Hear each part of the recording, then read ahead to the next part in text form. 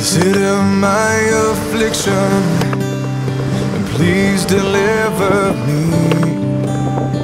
Plead my cause and redeem me. Salvation's not for the wicked, they don't seek your word. Great are your tender mercies, Lord. Revive me according to your loving kindness.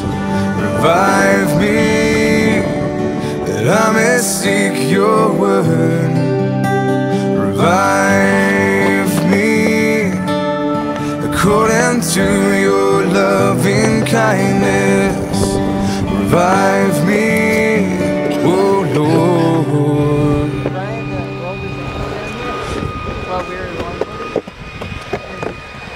couldn't walk back, and so we were going to carry him.